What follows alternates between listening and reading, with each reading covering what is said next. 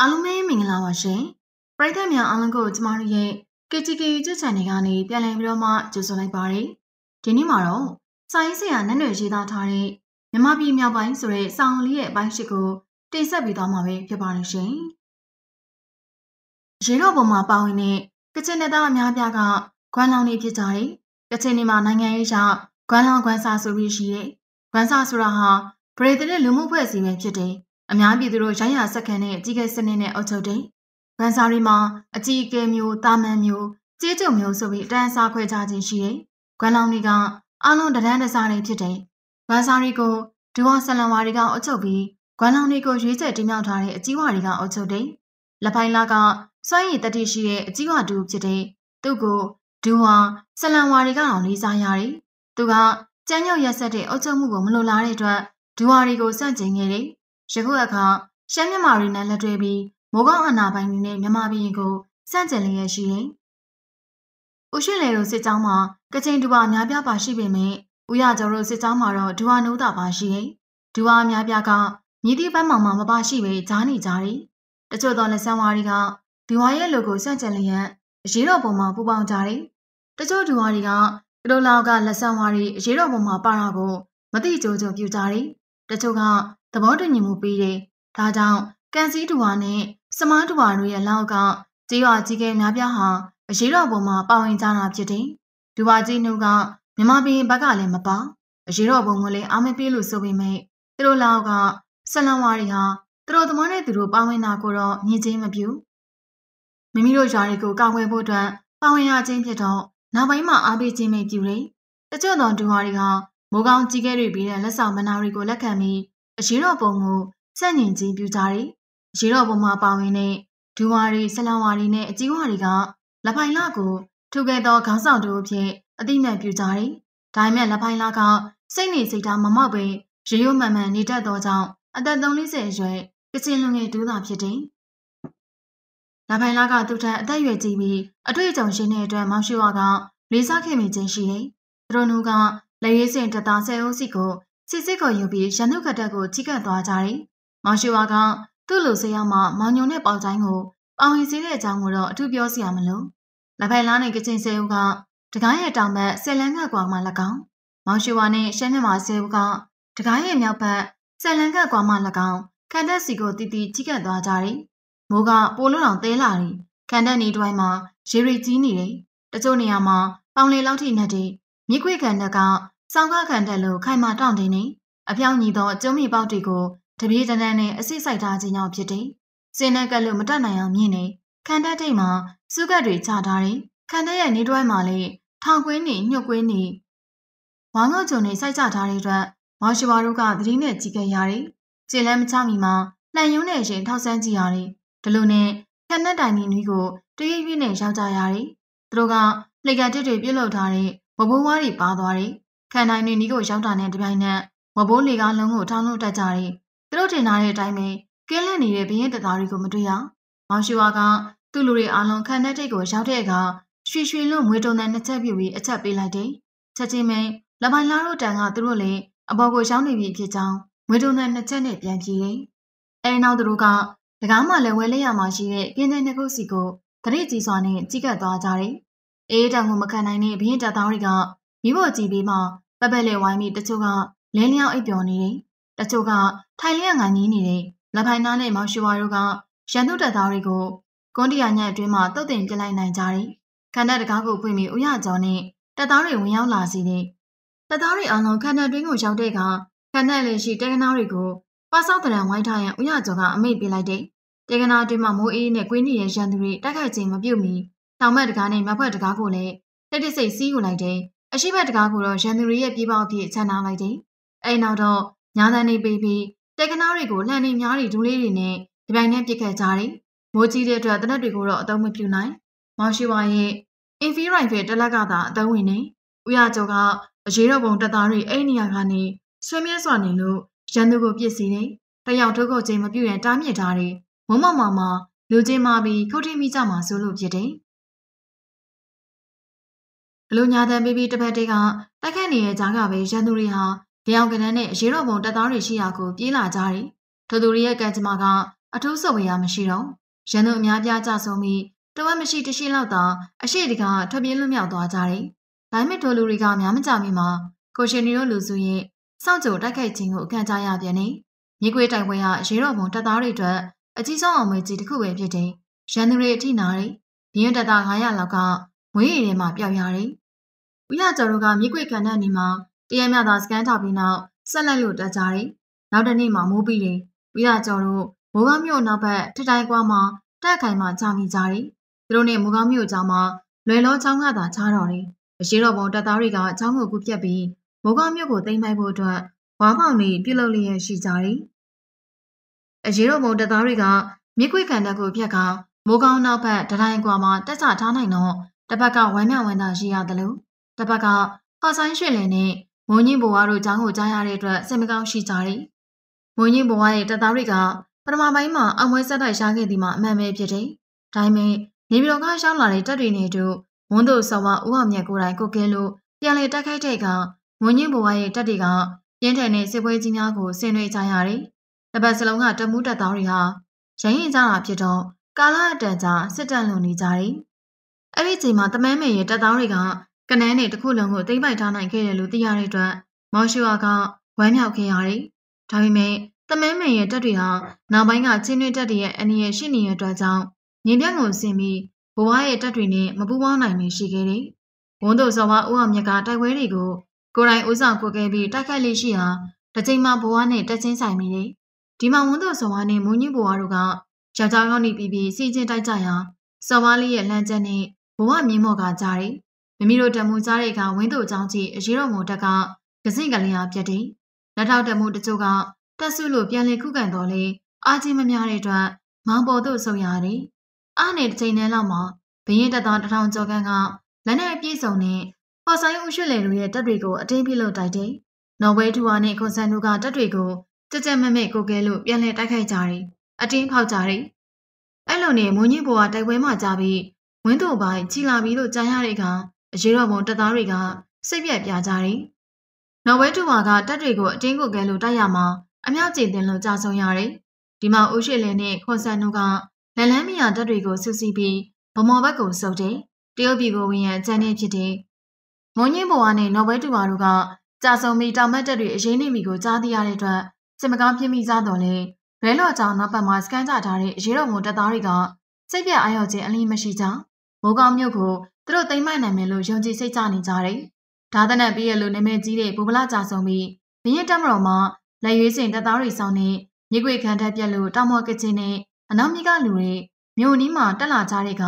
မိုးကောင်းမြို့သူမြို့သားတွေတောင်မကမိုးကောင်းမြို့တွင်ရှိမြင်းတက်သားတွေပါစိတ်ချကြကြကုန်နေမြို့ကိုစီးနေအတစ်တင်လို့အခိုင်ပြည့်ရှိစေတယ်။ဟော်ဆိုင်ဦးရှိလင်ရဲ့တက်တွေကိုလိုင်းလံနှိမ်နင်းနေတဲ့တက်တွေအောင်မိုးကောင်းမြို့ရင်းကိုပြန်လည်ခေါ်ယူတယ်။သူများသားမက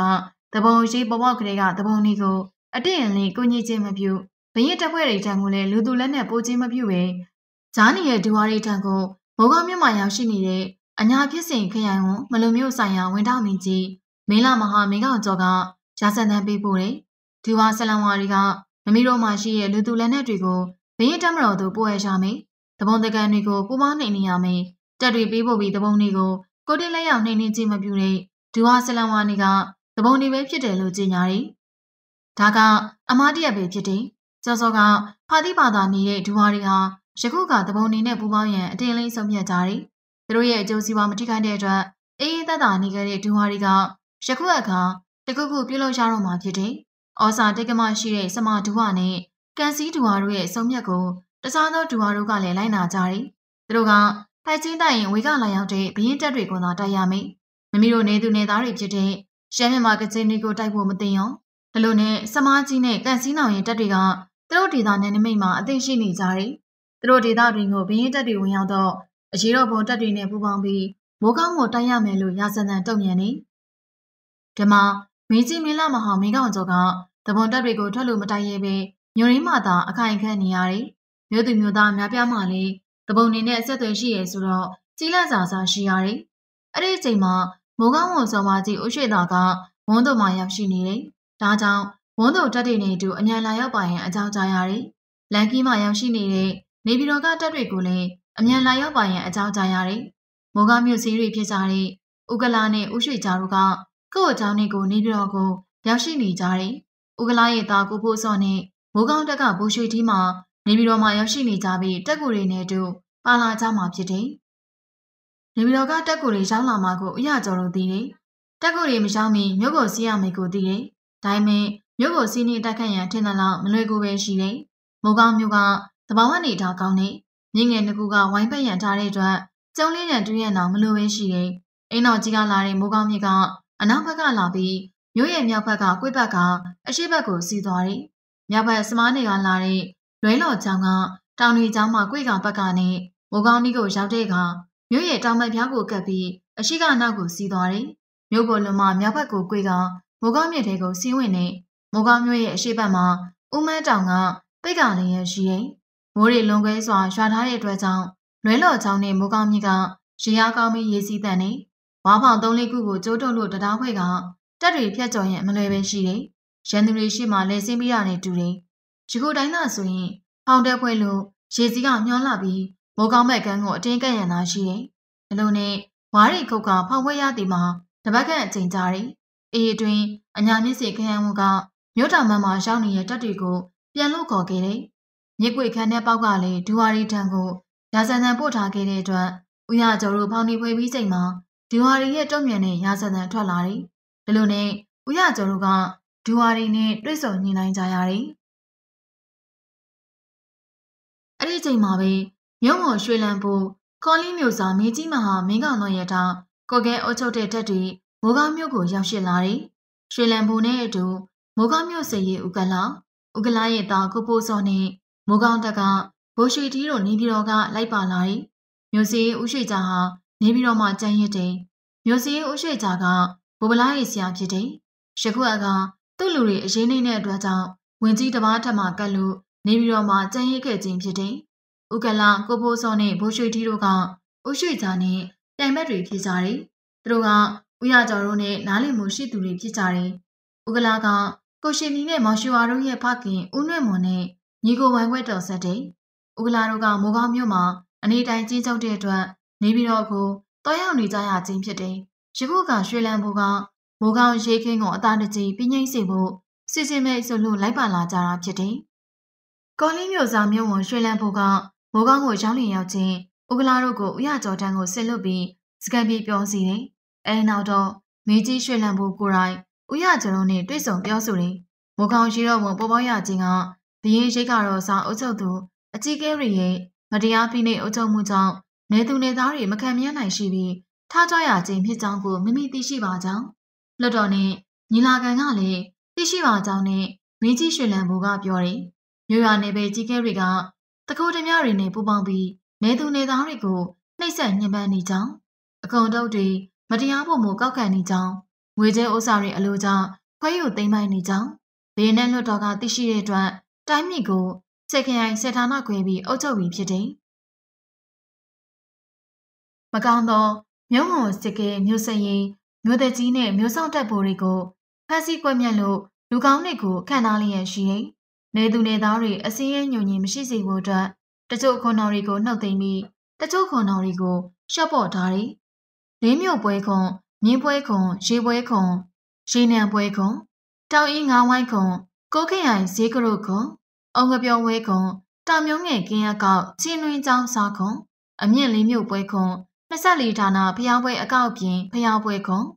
ကုန်းခွန်ဆွဲလွတ်ခွန်မူယဝဲရရေဦးပွဲခွန် တောင်ငူလက်မှတ်သိမ်းခွန်မိုးမိတ်မိုးလိုင်းပြေးပွဲခွန်ဗမော်ကောင်းတုံစားခွန်နီနဲ့ချင်းတွင်တတော်ကောက်မှပါဝင်နဲ့ပျော်ဝဲခွန်စေးတညက်စီတောင်လဲရှံဝဲကောက်ခွန်ပါဝင်နဲ့ရောကြအကောင်လေးမြို့တတော်သေးဥပဒေပိုင်းခြားတဲ့ပြင်စုစုပေါင်းအကောက်အကုန်ဦးရေ23ခုကို1946ခုနေုံလာဆန်းတရက်နေ့မှာအစပြုပြီးနှုတ်သိမ်းပြီးဖြစ်တယ်။နိုင်ငံတော်အတွင်းအရရမြို့မြို့ကြီးရွာတွေမှာနှုတ်သိမ်းပြီးဖြစ်တဲ့အကောက်ခွန်တွေကိုအကြီးရုပ်ပြုလုပ်သူတို့က ခွန်သေးခွန်ရှင်ခြားထားကောက်ခံခြင်းအစိုးရတို့ခွန်နေဖြစ်စေအခွင့်မရှိဘဲဖြစ်စေညီသူမဆိုဝိုင်းဆွဲပွဲထွက်မှစပြီးတောင်းခံဆိုင်ယူခြင်းမရှိစေဖို့လုံငိမ့်ချမ်းသာစေလို့အမိတ်တော်မြန်မည်ဖြစ်တယ်။စသဖြင့်မင်းကြီးရွှေလန်းဘူကရှင်းပြတယ်။နှုတ်တော်ရဲ့အမိန့်တွေကိုဖတ်ပြတယ်။မိုးကောင်းမျိုးနဲ့ဆက်လင်းလို့လည်းအအုပ်ချုပ်လို့သူတွေမကောင်းတာကိုသိတော့ဝင်းတို့စောဝါကြီးကိုမြို့ဝင်အဖြစ်လဲလှယ်ခံထားပြီးဖြစ်ကြောင်းဒါပေမဲ့စောဝါကြီးကအသက်အရွယ်ကြီးရင်ပြီဖြစ်တော့ လောင်အမှုရန်နေမတော်မတရားဆက်လက်ပြုလုပ်ခဲ့ကြောင်းယခုအခါမိုးကောင်းတက်ဖို့ဘူဗလာကြာဆုံးပြီးဖြစ်ကြောင်းဘူဗလာနေရာမှာဘိုးရွှေတီးကိုမိုးကောင်းတက်ဖို့အဖြစ်ခံထားမှဖြစ်ကြောင်းဥကလာကိုစစ်ကဲအဖြစ်ခံထားမှဖြစ်ကြောင်းမိကြီးရွှေလံမိုးကပြောပြတယ်။ရင်တော်ပေါ်မှာပါဝင်ခဲ့သူတွေကိုဘလို့မှပြည့်မရှိဘဲမမီတို့လုပ်ငန်းကိုမမီတို့ကောင်းစွာလှုပ်ဆောင်ဝင်ပြုမှဖြစ်ကြောင်းအာမခံနေ။အဲလိုသိရှိရတဲ့ကဥရကျော်တို့ကစဉ်းစားစရာဖြစ်တယ်။သူတို့ပုံမှန်တော်လန်တီမှာ မြည်သူတယောက်မင်းဖြစ်ဖို့မဟုတ်ချင်းမြည်သူတအူအကြီးအောင်ဖြစ်စေရန်အဓိကထားလို့မဟုတ်မမီတို့အလုပ်မမီတို့သာလုပ်ရမယ်မမီတို့ဘာသာမမီတို့မနေရလို့ပုံငန်ထားကြခြင်းဖြစ်တယ်တကယ်လို့မမီတို့အားမြည်သူကားများနှိမ့်ဆက်ညှဉ်းပန်းခြင်းမပြုတော့ရင်မမီတို့ပေါ်မှာအခွန်ပန်းနာတွေအစမတန်မတော်မတရားမကောက်ခံတော့ရင်မမီတို့အနေနဲ့အလောက်ကင်ပြက်ခံပြီးအသက်စည်းစိမ်ဆုံးခံလို့တိုက်ခတ်နေရအကြောင်းမရှိတော့ဒါပေမဲ့ဥရကျော်ကအိမ်မြအရေးကြီးတဲ့ကိစ္စကို အစောတက်လျင်မစုံမြတ်တဲ့လို့ယူဆပြီးနောက်၃ရက်ပြည့်မှအကြောင်းပြန်ပါမယ်လို့ပြောတယ်။ဒီ၃ရက်အတွင်းမိကြီးရွှေလံဘူကဒူဝါရီနဲ့အညွှန်းညွတ်စကားပြောဆိုတယ်။လက်ဆောင်နဲ့အပြန်အလှန်ပေးရတယ်။ဦးရကျော်ကနင်းနေအကြီးကဲများလက်ရွေးဖို့များနဲ့အထက်ထက်ညှိနှိုင်းနေသူတို့ဘဝင်မကြနိုင်တဲ့အချက်တခုရှိတယ်။ဘဘလာကြာဆုံးသွားပြီမှန်တော့လေဘဘလာရဲ့တခင်ဖြစ်တဲ့ဦးရှိကြာကမျိုးစည်းအဖြစ်ပင်ရှိနေတယ်။ဦးရှိကြာကရုပ်လောလောဆယ် မိုးကောင်းမြို့မှာမရှိတော့လေတစ်ချိန်မှာပြန်လို့ရောက်လာပြီးမယ်။သူ့လက်ထဲမှာတကောအာနာတွေတိုးလာနိုင်နေဒီအကြောင်းကိုပြောတဲ့ကမင်းကြီးရွှေလန်းဘူကအခြေအနေမှန်ကိုပြောပြတယ်။ဦးရှိကြကဝင်ကြီးတပားထံမှာခါစားလျက်ရှိတဲ့အတွက်မျိုးစည်းဖြစ်ကရုတ်တရက်မချတားနိုင်မှရှိရတယ်။ဒါပေမဲ့မိုးကောင်းနေရဲ့အုတ်ချုပ်မှုအာဏာဟာဥကလာနဲ့ဘိုရှတီလက်မှာရှိနေတဲ့အတွက်ကြောင့်ဦးရှိကြညီတို့များစွတ်ပတ်နိုင်မှာမဟုတ်လို့ဆိုရင် တကယ်လို့ဦးရှိကြတစုံတရာနှောက်ယှက်ဟန်တားလာရင်ချက်ချင်းအရေးယူစီမယ်လို့ကတိပြုတယ်။အဲဒီကမှမှဦးရှိကြကိုအထက်အုပ်ချုပ်သူတွေကအကောက်အကွယ်ပြုနေရင်မိမိကိုယ်တိုင်မိုးကောင်းနေသူနေသားတွေနဲ့တူပုံငန်တိုက်ခိုက်မယ်လို့ရဲရဲကြီးဆိုတယ်။ဒါပေမဲ့ဦးရကျော်တို့ကစိတ်မပြတ်ပဲရှိနေကြတယ်။ဦးရှိကြကတနေ့မှသူတို့ကိုအနည်းငယ်ပေးလိမ့်မယ်လို့ယူဆနေကြတယ်။မိကြီးရွှေလန်းဘူကတော့ဦးရှိကြအတွက်အိမ်မြောက်မှုဆရာမရှိလို့ဆိုတယ်။ဦးရှိကြမှာ နောက်လိုက်လူသူမရှိတော့သည့်တကြောင်မိုးကောင်းတက်ကဥကလာနဲ့ဘိုးရှိတီလက်ထက်မှာရှိနေသည်ကတကြောင်မိုးကောင်းနဲ့မှမဟုတ်မခံသူတွေရှိနေသည်ကိုမျက်မြင်ဖြစ်လို့တကြောင်လုံးဝတော့မှမဟုတ်လို့ဆိုရင်ဘလုံနဲ့၃ရက်ရှင်လာတယ်။ဦးရကျော်တို့ကဥရှိကြအတွက်စိတ်ထိနေကြတယ်။စစ်ပြေအမှုကဥရှိကြအတွက်ထင်နေတယ်။အဲ့ဒီအချိန်ဗမော်ကသတင်းစိုးတစ်ခုရောက်လာတယ်။ဒါကတခြားမဟုတ်ဗမော်မြို့ကိုစက်ကျင်ခေါင်းဆောင်နဲ့တရုတ်နှစ်ထောင်ကျော်ကတင်းယူလိုက်ခြင်းပဲဖြစ်တယ်။ ဗမော်မြို့သူမြို့သားတွေကိုတပ်ဖြတ်ညှိစိမ့်နေပြီဆိုတဲ့သတင်းပဲဖြစ်တယ်။အမှန်အဖြစ်တော့ဗမော်မြို့ကိုတရုတ်တွေသိမ်းမိုက်နိုင်ခြင်းမှာနေနေကြီးကဲတွေနဲ့တတိယသက်ကျွဲကုန်တယ်ပွဲစားတွေကြောင့်ပဲဖြစ်တယ်။စက်ကျင်ကတရုတ်ပင်ရဲ့လူမဟုတ်သူတက်ကတရုတ်ပင်ရဲ့တက်မဟုတ်တကယ်ပြောရရင်စက်ကျင်ဟာဓမြဘိုတူသားဖြစ်တယ်။သူတက်ကတရုတ်မြန်မာနေဆက်တစ်လျှောက်မှာတရုတ်မြန်မာကုန်သွယ်လမ်းကြောင်းတစ်လျှောက်မှာစိုးသန်းတက်ခိုက်နေသူတူဖြစ်တယ်။ဒါပေမဲ့ တပ်ဆိုင်ရာနေမြေကြီးကဲတွေကဓမြစက်ကျင်ရဲ့ဂိုင်းကိုတက်ခိုက်နေနေခြင်းမပြုတ်ဘဲစက်ကျင်ပြီးတဲ့တစိုးလက်ဆောင်တွေကိုလက်ခံသုံးစွဲနေကြတယ်။ဒီခါမှာတတိယသက်ကျွေကုန်တဲ့ပွဲစားတွေကလည်းသူတို့ကွန်မီစည်းတွေဘေးကင်းရန်နေရှိစီဖို့စက်ကျင်ကိုငွေကြေးပေးဆောင်ကြတယ်။လူနဲ့စက်ကျင်ကတတိကုန်တွေပေးတဲ့ငွေကိုအုပ်ချုပ်လုပ်သူတွေကိုခိုးဝေပေးပြီးနေသူနဲ့သားတွေပေါ်စုံစမ်းညှဉ်းဆန်နေတယ်။မိုးကောင်ရှိတော့ပုံပေါ်ပေါ်လာတွေကဗမော်မျိုးကတတိကုန်တွေက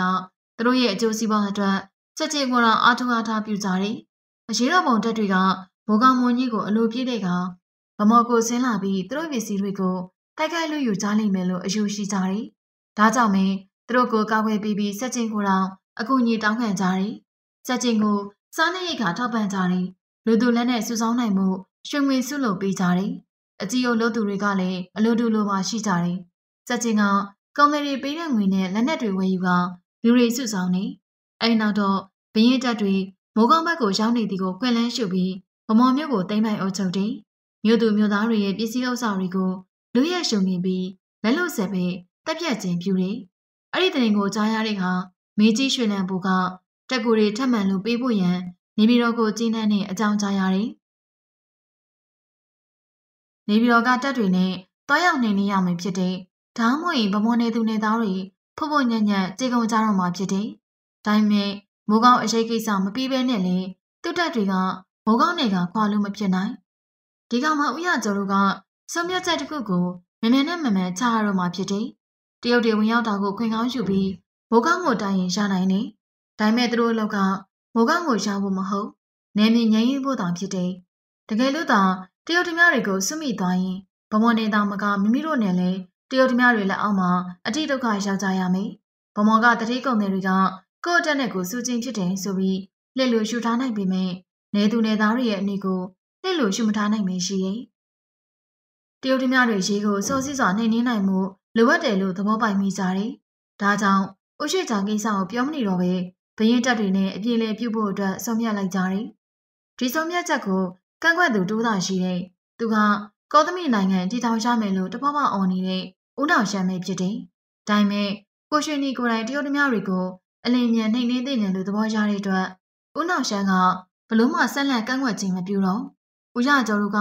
မေကြီးရွှေလံဘိုရဲ့တက်တွေနဲ့အတူဗမော်ကိုလိုက်ပါပြီးတရုတ်တွေကိုတိုက်ခိုက်မယ်လို့ဆိုတယ်။ဒါပေမဲ့မိုးကောင်းချီနေငြိမ်သက်ခြင်းမရှိတာကြောင့်တရုတ်တများတွေကမိုးကောင်းဘက်ကိုကျင်းလာနိုင်သည့်တကြောင်ကြောင့်ဦးရကျော်တို့မိုးကောင်းမှနေရဖို့မင်းကြီးရွှေလံဘိုကဆိုတယ်။ဒါပေမဲ့မင်းကြီးရွှေလံဘိုကဦးရကျော်ကိုရှိနီမောင်ရှူဝါနဲ့ လက်ပိုင်လားတို့ကိုအထူးနှိမ့်ချိုက်သဘောကျတဲ့အတွက်နေပြည်တော်မှာလိုက်ပါမှုတန်းရခေါ်ဆိုတယ်။ဦးရကျော်ကိုရှိနီနဲ့လက်ပိုင်လားတို့ကမလိုက်ပါလို့ဆိုကြတယ်။မမီတို့သည်လေလုတ်ခြင်းတောင်ရလုတ်ခြင်းတောလိုက်ခြင်းအမှုတို့ကိုသာပြုလုပ်ကြတယ်။ကန္နာသစ်ပင်ဘဝမျိုးဖြစ်တဲ့မိခစာလုတ်ကိုစိတ်ဝင်စားလို့ဆိုကြတယ်။အဲ့လိုဦးရကျော်ကိုရှိနီနဲ့လက်ပိုင်လားတို့ကဘင်းတမတော်မှာအမှုတန်းရငင်းဆိုကြတဲ့ကမော်ရှူဝါလေးငင်းဆိုရတယ်။ဒါပေမဲ့သူတို့စိတ်ထဲမှာတော့ နေပြည်တော်ကိုသွားရောက်ပြီးဘရင်တက်မတော်မှာသာအမှုတန်းလို့စိတ်ကတဝက်ရှိနေတယ်။ဒါပေမဲ့ဘာကြီးမုံနဲ့ဘာကြီးဦးခဲရှုံတို့ကမိခစားမပြုတ်လို့ရန်ကန့်ကွက်တားမြစ်ဖို့တဲ့အတွက်မော်ရှိဝါကအသာနေလိုက်ရတယ်။မိမိကအဖေကြောင့်ဘရင်တက်မတော်မှာအမှုတန်းရနေလို့ဒီကိုမော်ရှိဝါကကိုကိုကိုမသိပဲရှိတယ်။နောက်ဆုံးမှမိမိအဖိုးကိုအားကြမိလို့ပဲလို့တော့အောင်းမိထားလိုက်တယ်။မင်းကြီးရွှေလန်းဘိုက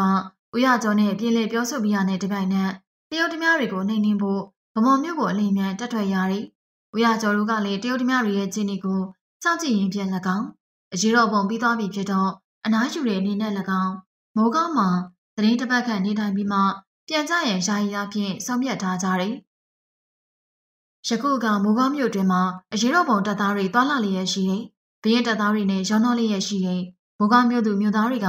အရေးတော်ပုံတပ်သားတွေကို တောင်းစွာခီးဦးကြိုဆိုကြတယ်။မြို့သူမြို့သားတွေမှလည်းအိုးကျော်လို့သူတွေရဲ့ညှဉ်းပန်းနှိပ်စက်မှုကိုအရေးတော်ပုံတပ်သားတွေနေတူခံခဲ့ရသူတွေဖြစ်ကြတယ်။ဒါကြောင့်ပဲတိုက်ပွဲတွေဖြစ်ပွားနေစဉ်ကာလက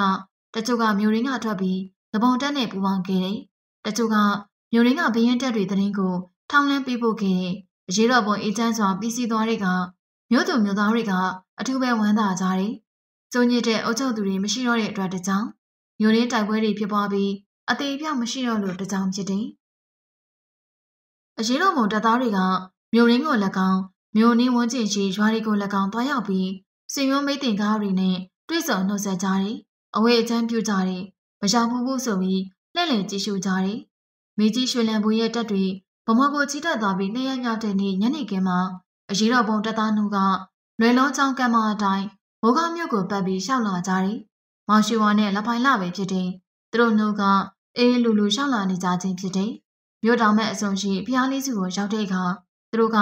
မြောက်ဘက်ကိုချိုးခွေလိုက်ကြတယ်။ဖျားတွေကိုဖျက်ပြီးမြို့ရင်းကိုဝင်ကြရန်ဖြစ်တယ်။ဖျားလေးစုဆိုသည်မှာတစောင်းတစ်ခုအတွင်းရှိတမီခွေရုပ်ပွားတော်လေးစုကိုရည်ရွယ်ခြင်းပဲဖြစ်တယ်။ဒါပေမဲ့အဲ့ဒီတစ်ဝိုက်မှာဇေဒီငယ်တွေများပြားလာတယ်။အမြင့်စေတောင်မှအတောင်20တိညံတော်ရှိသောဇေဒီပေါင်းအစု20ကျော်တယ်။တိကျမဟာရန်တိုင်းတွေနဲ့ရှိကြတယ်။တိုင်းတွေကကဆောင်ကမြင်ကြတယ် မောင်ရှိဝါတို့ကဒတိုင်းတွေအကြောင်းခွေးကောက်လို့သွားကြတယ်။ဇေရီကတပုံစံနဲ့ဖြစ်ကြတယ်။တယောက်တည်းတီးခန့်ရှိတယ်။ဟောင်းနဲ့ပြက်စီစပြုတ်နေပြီဖြစ်တယ်။ဂျင်းကြီးတွေတက်ပြီးအင်္ဂလိပ်တွေကြွားကြနေတယ်။ဘလူးပန်းဆွဲနဲ့စိန်တော်ပန်းတွေအကျိုးပေါက်ရှိနေတယ်။ကြောင်မောက်ကြားလန်တွေအမဲညစ်ရှိတော့ထီတော်တွေတိမ်ဆောင်းနေတယ်။ထောင်းချင်သည်နဲ့မုတ်ချင်သည်တွေကိုလက်အိမ်ကမစုံတော့ပြီဖြစ်တယ်။ကျွိုင်းနင်တို့ဖျားတွေအိုနေပြီ။လက်ပိုင်လာက ဂျေရီကိုမော့ချင်ရင်ပြောလိုက်တယ်။ဒီမျိုးနဲ့တူတီတာကိုကွဒီမျိုးတင်တာကကြမလားဒီမျိုးကိုဟော့ဆိုင်တီခဲ့တာအိမ်ဆောင်ကြောက်စိမ်းမိုးကောင်းကိန်းနဲ့အခုဆိုရင်မျိုးသက်က123နှစ်ရှိပြီဒါကမျိုးတစ်ကိုမျိုးအောင်ဆိုရင်တော့အနည်းတစ်ထောင်ကျော်ပြီမိုးကောင်းမျိုးအောင်ကိုငါရဘူးလေဖားဖျားဆိုတာရှိတယ်စင်လုံးကအကြီးကြီးပဲနေမတော့ကရှောင်ဘူးတာလေကြပြီပဲဒီတော်တွေတောင်းနေငါအားလုံးရှောင်ဘူးလေ တပိုင်လာကအဲ့လိုပြောပြီးနောက်သတ်မှတ်ချလိုက်တယ်သူတို့ကယခုအခါဇေရီကြားကထွက်ချပြလာပြီဖြစ်တယ်နင့်မှာမင်းမရှိလားမောင်ရှိဝါကရုတ်တရက်မေးလိုက်တယ်လက်ပိုင်လာကခေါင်းရမ်းနေမိဘကောမရှိဘူးညီကောင်မနှမကောငါမှဘယ်သူမှမရှိဘူးငါတယောက်တည်းပဲမင်းကြီးရွှေလံဖို့နဲ့နလိုက်တော်ဖို့ကောင်းနေနေပြီးတော့ကြာရင်နေသူရဲကောင်းဖြစ်မှာငါမသွားချင်ဘူးငါဒီမှာမင်းနေချင်တာနင့်မှာဆွေမျိုးသားချင်းမှမရှိဘူးငါတို့လူမျိုးတွေရှိတယ်လေ စင်မပြီးလို့စက်တိုင်ရင်အောက်ပြေအောက်ရွာကိုငါတို့ရောက်ရမှာစစ်တိုင်ရင်အောက်ပြေအောက်ရွာကိုရောက်တော့မှမင်းမှုတော့မတန်ငါပြန်လာမှာပဲငါလူမျိုးတွေနဲ့ငါတောင်ငါတော်တွေကိုပဲငါချစ်တယ်မောင်ရှိဝါကအတန်ကြာတိတ်ဆိတ်နေပြီးနောက်ငါမှကိုမို့တင်စရာကိစ္စမရှိရင်နေပြီးတော့ကိုငါလိုက်သွားတယ်လက်ဖိုင်လာကမောင်ရှိဝါကိုထူးဆန်းစွာကြည့်လိုက်တယ်ဒါပေမဲ့ဘာမှမပြောလူရဲ့နှုတ်ကမြို့ရင်းကိုဝင်လာနေကြပြီဖြစ်တယ်ကိုတွင်းနဲ့ကိုရှောက်သွားနေကြတယ်မောင်ရှိဝါက မင်းမြစ်ကိုသတိရမိပြန်နေအရေးတော်ဝန်ပြီးမှပြီဖြစ်တော့ကိုကြီးကိုလာကိစ္စတွေကိုအာယုံဆက်ရတော့မေမင်းမျိုးရဲ့ပြုံးကလောင်ဝန်းထွက်တဲ့ကဲ့သို့အေးမြတယ်အဲ့ဒီအချိန်စီစီအားအတန်တွေကိုရုတ်တရက်ကြားမိကြတဲ့အတွက်လူရဲ့နှစ်ယောက်စလုံးပဲရှေ့ဘက်ကိုလက်ဆက်လူကြည့်လိုက်ကြတယ်မျိုးရင်းက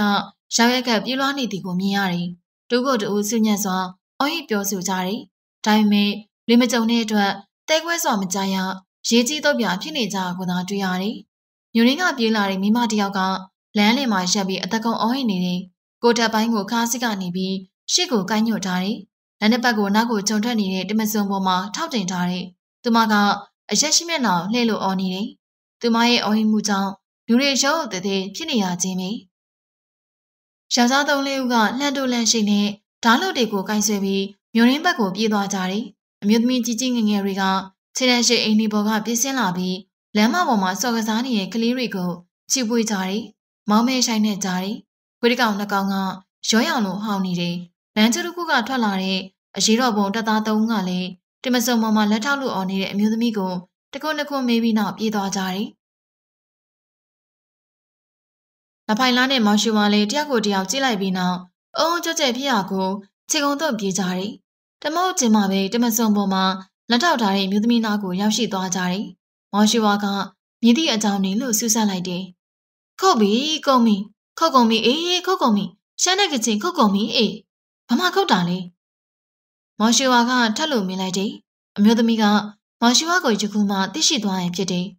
နင်တို့လူတွေခုတ်ကုန်ကြပြီဘာဖြစ်လို့လဲငါမသိဘူးနော်အဲ့ဒီမျိုးသမီးကိုဆက်လက်လို့မင်းမြတ်နေလို့အကျိုးမထုတ်ပြီဖြစ်တဲ့အတွက်မော်ရှီဝါနဲ့လက်ဖိုင်လာကမျိုးရင်းကိုပြေးသွားကြတယ် လူတွေရောက်ရက်ကက်နေရကိုတလန်းလုံးတွေ့ရှိရတယ်ဒီကောင်တွေအရှံမှုပြီးတော့ရမ်းမြကြမိနေတူတယ်ငါလူတွေနဲ့ဒူဝလူတွေများလားလပိုင်လာကစိုးရိမ်စိတ်ပွားတယ်ဒါပေမဲ့မြို့သူမြို့သားတွေကရှမ်းတဲ့ကချင်းတိုက်ခိုက်ကုန်ပြီလို့ထိတ်လန့်ပြောဆိုနေကြတယ်လပိုင်လာနဲ့မောင်ရှူဝါတို့လည်းမိတို့မှမမန်းစတတော်တဲ့အတွက်တက်ကိုရောက်တာပြေးနေကြတယ်မြို့ရင်းကိုရောက်လာတဲ့အမျှရုံးရင်စက္ကန့်မှုကိုပိုလို့တွေ့လာကြတယ်အရက်သားတွေတာမက ဘင်းတမတော်သားတွေနဲ့မြို့ရင်းကိုရောက်ရှိနေတဲ့ရှမ်းမြမာကချင်းအရေးတော်မုံတပ်သားတွေကရွေလောချောင်းကိုပြေးလာစင်းနေကြတယ်ဂရုဖောင်ဒီပေါ်ကိုအလူအရက်ခုံလို့တက်ကြတယ်။တချို့ကလုံတွင်းလေတွေနဲ့တစ်ပတ်ကန်းကိုကူခတ်ကြတယ်။လူတွေအစမတန်တက်တဲ့အတွက်ဖောင်ဒစင်ကတစ်ပတ်တောင်လုံးစိုက်မြုပ်သွားတယ်။လက်တစင်းမှလည်းမှောက်သွားတယ်။မောင်ရှီဝါနဲ့လက်ဖိုင်းလာကကန်းကခွာစားပြုတ်နေပြီဖြစ်တဲ့ဝါပေါင်တစ်ခုပေါ်ကိုခုံလို့တက်လိုက်ကြတယ်။ဖောင်ပေါ်မှာလူမျိုးစုံပါရှိတဲ့ အရက်သားတွေနဲ့ဘင်းပတ်တော်သားတွေကအရေးတော်ပုံတက်မှရှမ်းတဲ့ကချင်တွေထုတ်ခုတ်ကြပြီလို့ပြောတယ်။ဖောင်ပေါ်မှာပါလာတဲ့ရှမ်းကချင်ရေတော်ပုံတပ်သားတွေကဒုလုံးဒုလုံးဖြစ်နေကြတယ်။တူနဲ့တူဆက်ဆံရာခံနေတယ်။ယခုပဲရှမ်းဖြစ်နေကြရအောင်ကလည်းအကြောင်းရင်းကမြေတို့မှန်မသိရှိတယ်။ရှမ်းကချင်အထီးကင်းပြမဲ့ရင်းအောင်ကလည်းတင်ကူးပြပေါ်ခဲ့ခြင်းမရှိ။ဒါပေမဲ့တူနဲ့တူလည်းယုံကြည်ကိုးစားခြင်းမရှိကြ။မျက်လုံးအသင့်ဓာတ်အသင့်ရှိနေကြတယ်။ မော်ရှိဝါနဲ့လက်ဖိုင်းလာတို့ကမြေတို့မြဝင်ရောက်ပြောဆိုတတ်ခြင်းမရှိ။ကံတစ်ပတ်မှာလူအများအုံအော်တောင်းနေဖြစ်နေသည်ကအမှန်ပဲဖြစ်တယ်။ညနေခင်းနေရာမှာဓာတ်ရောင်နှစ်ရောင်နဲ့လက်နေတယ်။ကချင်တဲရီနေမှာစီုံနေကြတာဖြစ်တယ်ခုတ်ချဟိအခုတ်မကက်နဲ့ဟိဆိုတဲ့အတန်တွေကရောထိလုံးထွက်လာတယ်။အဲဒီကမော်ရှူဝါနဲ့လက်ဖိုင်လာတို့ကစိုးရိမ်စီဖြစ်လာတယ်။ဒါကြောင့်တစ်ဖက်ကန်းကိုဖောက်ကွက်တာနဲ့တပြိုင်နက်တခြားသူတွေတက်အရှင်ဦးဟာခုံစင်းပြီး လူအုပ်စီကိုပြေးသွားကြတယ်။လူအုပ်ကိုထိုးပေါက်လို့ဝင်သွားကြတယ်။သူတို့မှန်းသိတော့လမ်းဖေးပေးကြတယ်။အဲ့ဒီအချိန်ရှေ့ဘက်ကထိုးတန်ခုတ်တန်နေကြားရတယ်။လူအုပ်ကြီးလှလှရှာရှာဖြစ်သွားတယ်။ရှေ့ဘက်ကိုရောက်တဲ့အခါရှမ်းမြမာရီနဲ့ကကျင်နေရောထွေတုပ်ကိုနေကြသည်ကိုမြင်ရတယ်။ကချင်တဲကနားရီရဲ့နီးမဖြစ်တဲ့အချင်းပြပွားရကိုကချင်တွေအလုံးရှိနဲ့ပြေးထွက်လာတယ်။လူအောင်မှာရှမ်းမြမာတွေကကချင်တွေနဲ့တိုက်ခိုက်ရန်အတင်းပြေးသွားကြတယ်။မော်ရှူဝါနဲ့လက်ဖိုင်လာက ဓာရီကိုဒိန်ကချုပ်ပြီးရောထွေတိုက်ခိုက်နေရကိုပြေးဝင်သွားကြတယ်။တော်ကြဟိစုတ်ကြဟိဖဲကြဟိလို့ဟိော်ရင်တိုက်ခိုက်ကြတဲ့ရှမ်းမြမာနဲ့ကချင်တွေကိုအတင်းလုံစုခွဲပစ်တယ်။သူတို့နဲ့တပန်နယ်လောက်ပဲတခြားတစ်ဘက်ကလူနှစ်ယောက်ပြေးဝင်လာတယ်ကိုရွှေနီနဲ့ဝိတုံဝါတိန်စုတို့ဖြစ်ကြတယ်။ကိုရွှေနီနဲ့တိန်စုတို့ကလက်တစ်ဖက်မှာကြက်တွေရှိကြတယ်။တိန်စုကကိုရွှေနီကကြက်ပွဲကြည့်ရခေါ်တဲ့အတွက်လိုက်ပါသွားခဲ့ခြင်းဖြစ်တယ်။ဇူညညက်ကြားလို့နှစ်ယောက်သာ ကြက်ပွဲကဦးရဖားရပြေးလာခဲ့ကြတာဖြစ်တယ်။ဦးနောက်ရှမ်းကအဲ့ဒီအချိန်ကတဲတခုအတွင်းမှာအိပ်ပျော်နေတယ်။ခေါင်းဆောင်လေးကိုမြင်တဲ့အခါငယ်သားတွေကရှဲသွားကြတယ်။နောက်ကိုဆုပ်ပြီးကြတယ်။မဆုပ်မဖေဖေရှိသူတွေကိုဓားပြနဲ့ရိုင်းလို့၎င်းဒနောက်နဲ့ထုလို့၎င်းတွန်းထိုးလို့၎င်းရှဲစီတယ်။ဒါချင်းရှိနေတဲ့ရှမ်းမြမာနဲ့ကချင်တွဲကိုတွေ့တော့ဂျာကအတင်းဖြတ်ဝင်နေဝဲပြက်လာတဲ့လန်ကိုရိုက်ထုတ်ပစ်တယ်။ခေါင်းဆောင်လေးကအတင်းတိုက်ခိုက်ပြီးအလဲဦးချောင်းဖောက်လိုက်တဲ့အတွက် ရှမ်းမြမာနဲ့ကချင်တွေကဟိုဘက်ဒီဘက်လူကိုကွေးသွားတယ်။ဒါပေမဲ့တစ်ဖက်နဲ့တစ်ဖက်ဆဲဆိုချိန်မောင်နေကြစေဖြစ်တဲ့ကချင်တွေကတဲစုနဲ့လက်ဖိုင်းကိုလက်ကောင်းရှမ်းမြမာတွေကကိုရွှေနီနဲ့မောင်ရှုဝါကိုလက်ကောင်းအလူးရက်တိုင်တန်းလေးရရှိကြတယ်။အဲ့ဒီအချိန်မှာဦးရကျော်ဦးကလာကိုဖိုးစောနဲ့ဘိုးရွှေထီတို့ရှစ်စင်းနောက်စီရောက်ရှိလာတဲ့အတွက်အခြေအနေကိုကောင်းစွာထိန်းသိမ်းနိုင်သွားတယ်။ဒါပေမဲ့ချင်းမြန်လက်မြန်ရှိပြီးရင်းရင်ပြက်လက်သူတွေအနိကဘူးကတိုက်ခိုက်ကြတာဖြစ်တော့ ခဏလေးတွင်းမှာပဲအထီးရှအကြဆုံးများပြားတယ်။လူတော်များများမှသွေးချင်းချင်းရင်းနေတယ်။ခေါင်းမှ၎င်းကိုမှ၎င်းချင်းလက်တွေမှ၎င်းမျက်နှာတွေမှ၎င်းတရားကြီးတရားရှိကြတယ်။50ဦးကတရားတော်ပြင်းတဲ့အတွက်ချက်ချင်းမိတ်ကုသရတယ်။စုပေါင်းကြာဆုံးသူ၃ဦးရှိတယ်။ရှမ်းမြမာဘက်ကတဦးကြာဆုံးပြီးကချင်နူးကြာဆုံးနဲ့ကြာဆုံးသွားတဲ့ကချင်နူးကိုမောင်ရှူအားကောင်းကောင်းသိတယ်။လက်ပိုင်းလားရဲ့လူရင်းတွေဖြစ်တဲ့မြေကွေခံတက်ကိုတတိစိတ်တယောက်စင်က ကချင်တုံမှပါဝင်သူတွေဖြစ်ကြတယ်။ဒါကြောင့်မော်ရှူဝါကစင်မကောင်းဖြစ်ရတယ်။လက်ပိုင်းလားစိတ်တိခိုက်တာကိုစာနာမိရတယ်။ဒါပေမဲ့သူတို့ဘက်ကကြာဆုံးသူတို့အတွက်ပိုးလို့စင်မကောင်းဖြစ်ရတယ်။အဲ့ဒီကြာဆုံးသူကတခြားသူမဟုတ်မော်ရှူဝါရဲ့ညာလက်ယုံပေါက်တိုင်းမဲ့ဖြစ်တယ်။စိုးညစ်ရှုံးမာတဲ့အုပ်ချုပ်သူတွေရဲ့လက်ချက်ကြောင့်မိခင်နဲ့နှမငယ်မရှုမလခန်းစားတည်ဆုံးခဲ့ရတဲ့အတွက်အကြီးကဲစိုးတွေနဲ့မတရားမှုတွေကိုအသက်နဲ့စတေးလို့တိုက်ခတ်ရန် တန်တိတ်တန်ချတဲ့လူရည်တူကယခုအခါတေတူရှင်မကတိုက်ပွဲဝင်ခဲ့သူအချင်းချင်းရဲ့လက်ချက်နဲ့ကြာဆုံးရပြီဖြစ်တယ်။ဒါလိုနဲ့ရှမ်းမြမာနဲ့ကချင်ကြီးကဲတွေကအကြောင်းရင်းစင်းမြစ်ကိုစီစစ်မြင်မြန်ရတယ်။တယောက်တစ်ပပြောဆိုနေကြတဲ့အတွက်အထီကယုံမှာပါဝင်သူများနဲ့မှရှမ်းမြမာတူနဲ့ကချင်တူကိုရွေးထုတ်မြင်မြန်ရတယ်။ကြားတဲ့အကြောင်းရင်းကပိုလို့တောင်စိတ်ထိခိုက်စရာဖြစ်တဲ့လပိုင်းလာတက်ကကချင်ကဟောက်ကမနဲ့ကလေးကအရက်တွေတောက်စားမှုရနေကြတယ်။ နေကင်းဘက်မှာတော့တက်စကန်နဲ့နှမိုင်ကဝေးတဲ့ရှမ်းရွာလေးတူရကိုတောက်ရောက်ရန်ကားကြတယ်။ကြက်တွေကိုလူယူကြတယ်။ကျွဲနာတွေကိုခုတ်တက်ကြတယ်။တွေ့ရလူတွေကိုရိုင်းနေကြတယ်။ထုံမြောက်မပြီးသေးပဲလင်းရှိအမျိုးသမီးနဲ့အပြိုရည်နှိုးကိုလက်ကွင်းနဲ့ဆွဲခေါ်သွားပြီးဘလက်ကာယာပြုတ်ကျင်ကြတယ်။ခုခံတိုက်ခိုက်တဲ့ရွာသားတူကိုခေါင်းပြက်ခဲ့ကြတယ်။အဲ့ဒီပြည်ကိုရွာသူရွာသားတွေကအရေးတော်ပုံတက်ရှိရှမ်းမြမာရီထံကိုလာရောက်တိုင်ကြကြတယ်။ဒီမှာရှမ်းမြမာရီကမကံမြဲနိုင်ရှိပြီးလက်နက်တွေဆွဲခိုင်က ကချင်တဲကနာကိုဝိုင်းလို့ရန်ကားတွေကချင်ငါးကိုအံ့ရန်တောင်းခံကြတယ်။ကချင်တွေကသူတို့လူငါးကိုယခုမအံ့နိုင်ကြောင်းမမိတို့ကြီးကဲတွေရဲ့သဘောထားဖြစ်ကြောင်းပြောပြီးအမှုရန်သမားတွေကိုတဲတခုအတွင်းချုပ်နှောင်ထားကြတယ်။ဒီမှာရှမ်းမြမာတွေကပိုလို့မကံမြဲနိုင်ရှိလာတယ်။ဒီအချိန်ရှမ်းမြမာနဲ့ကချင်ကားဆောင်တွေကမြို့ရင်းကိုရောက်ရှိနေကြတဲ့အတွက်အခြေအနေကိုကြိုတင်လို့မထိန်နိုင်ကြောင်းမောင်ရွှေဝါနဲ့လက်ပိုင်လာကိုရွှေနီနဲ့ဝိတုံဝါတိန်စုတို့က အချိန်မီရောက်ရှိလာပြီးလူစုခွဲလိုက်နိုင်တဲ့အတွက်အင်းများနေပြီးဆုံးသွားခြင်းဖြစ်တယ်။ဒုမောပါကနေဘဲအနှံ့လူမျိုးရေးအထီးကုံနေဖြစ်ပေါ်လာနိုင်တယ်။လူနဲ့ကောင်းဆောင်တွေဟာကချင်ကားကိုမစစ်မီမီအရေးတော်ပုံတပ်သားတွေအားလုံးကိုသက်ဆိုင်ရာစကန်တွေကိုတည်တည်ပြန်စီရတယ်။ရှမ်းနေနဲ့ကချင်ရေးတော်ပုံတပ်သားတွေအားလုံးကိုစကန်မှာကိုရှိရမှာဖြစ်ပြီးမိသူတို့တယောက်တည်များမြို့ရင်းကို၎င်းအနီးပါးရွာတွေကို၎င်းစကန်ပြင်ကို၎င်းမထွက်ရမသွားရမလာရလို့ အမိတ်တင်းချက်စွာထုတ်ရတယ်။မြို့သူမြို့သားတွေကိုလည်းတပတ်ကန်းကိုပြန်လို့ကူးစီပြီးအလောက်ကင်မပြတ်နေကြရန်ပြောရတယ်။မြို့ရင်းလုံခြုံအေးချမ်းမှုကိုဘင်းတပ်သားတွေကတာဝန်ယူရန်ဥကလာနဲ့ဘိုးရွှေတီကအမိထုတ်စင်နေဒီနောက်တော့မွေးရရှန်ကားတွေကချင်ကောင်းကိုဘိုးတဲကနာကိုခေါ်ယူစစ်ဆေးရတယ်။လပိုင်းလာကသူ့လူနှုတ်ကြာဆောင်ရတဲ့အတွက်၎င်းသူ့လူငါးဦးကြောင့်အရေးကင်းပေါ်တရားတဲ့အတွက်ကြောင့်၎င်းစစ်မကောင်းဖြစ်ခြင်းနဲ့ဒေါသဖြစ်ခြင်းရောက်ရှက်နေတယ်။မျက်လုံးနဲ့နေနေတယ်။ ဒါပေမဲ့သူ့တန်ကတည်ငြိမ်နေရှင်းလင်းပြတ်သားတယ်။တလုံးချင်းပြပြသားသားပြောဆိုတယ်။အေးကြော်ကြည့်နော်နေပြောစမ်းဒီမှုမှာနေမဲကောင်းဆောင်ဖြစ်မှာပဲ။အမူရှမ်းသမားငါးဦးအနက်ရှေ့ဆုံးကမှုန်ကုန်းကုန်းနဲ့စောက်ကြောက်ထိုင်နေတဲ့သူကိုလက်ပိုင်းလာကစစ်စစ်ကြည့်လို့မိတယ်။သူ့လူတွေနဲ့သူဖြစ်တော့ဥရကျော်တို့လည်းဘလို့မှဝင်ရောက်ဆုတ်ဖက်ခြင်းမပြုတ်သေးပဲအသာနားထောင်နေကြတယ်။ကြော်ကြီးတော်ကိုမောင်ရှူအားကောင်းကောင်းသိတယ်။လက်ပိုင်းလာရဲ့လက်ရွေးပို့သူဖြစ်တဲ့ အထိုက်ကရင်းရင်နေပြီးခဲ့တဲ့တိုက်ပွဲတွေမှာထင်မော်သူတူဖြစ်တဲ့သူကအရက်တွေလုံးကျုံတောက်ထားပြီးအတော်ကြီးမှုခဲ့တော်လဲယခုအခါမှာသူ့ကိုယ်သူထိမ့်သိမ့်နိုင်တဲ့အခြေအနေရှိတယ်။သူ့အတွက်ကြောင့်ရွာတရာကြည်ခဲ့ပြီးအရေးတော်ပုံတသားတစ်ချင်းချင်းတိုက်ခိုက်တက်ဖြတ်ခဲ့ရပြီ။ယခုကမှလူကြီးတွေကသူ့ကိုစစ်စင်းလျက်ရှိတော်လဲသူကအနှဲငယ်များထိတ်လန့်ကြောက်ရွံ့မှုကိုမပြောင်းတခြားကချင်လေးကအမှုပြနေကြပြီဖြစ်တယ်။ကမ္မပေါင်ဝင်ပဲရှိကြတယ်။ကြော်ကြီးနောကစရိတ်ကိုပက်ကနဲ့ထွေးက ငါတို့ကချင်ရွာတွေကိုရှမ်းမြမာတွေကတတ်ခဲ့ကြတယ်။ငါတို့မိမတွေကိုသူတို့မိမလုပ်ခဲ့ကြတယ်။ငါတို့ပစ္စည်းတွေကိုသူတို့ပစ္စည်းလုပ်ခဲ့ကြတယ်။ဒါအောင်ငါတို့လက်စားချီတွေဘာဖြစ်လဲ။လက်ဖိုင်လာကထိုင်ယာကဝုံငနဲ့ထားလိုက်တယ်။ဒါကိုဆွဲချုပ်မဲ့ပြုတ်ပြီးမှအတန်မြောင်ပြန်ဆောင်သွင်းလိုက်တယ်။အိမ်နောက်တော့ကြော်ကြီးနောင်နီးကိုတိုးသွားပြီးနင်တလောက်မိုင်းလိမ့်မယ်လို့ငါမထင်ဘူး။နင်တက်တိရှိပေမဲ့သိညာမရှိဘူး။နေဆိုးတယ်။နင်မားတွေကြော်ကြီးနော်။ငါတို့ကချင်ရွာကိုမီးရှို့ပြီးငါတို့ကချင်တွေကိုနှိပ်စက်တက်ဖြတ်တာရှမ်းမြမာတွေမဟုတ်ဘူး။ ဗလားတို့တွေ